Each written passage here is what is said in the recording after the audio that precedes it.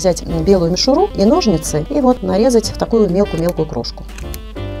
Берем фольгу и сминаем ее в плотный ровный шар.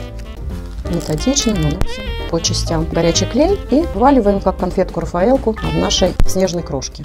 Вот такое у меня тельце продолговатое и голова. Скатала такую морковку из тонкого фоамирана оранжевого цвета. И акриловым контуром нарисуем глазки и ротик. Осталось приклеить головешку, и наш снеговик готов.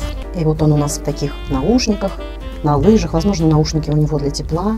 Возможно, он меломан и в горах катается на горных лыжах и слушает музыку. Занимайтесь, пожалуйста, творчеством. Привлекайте к творчеству детей.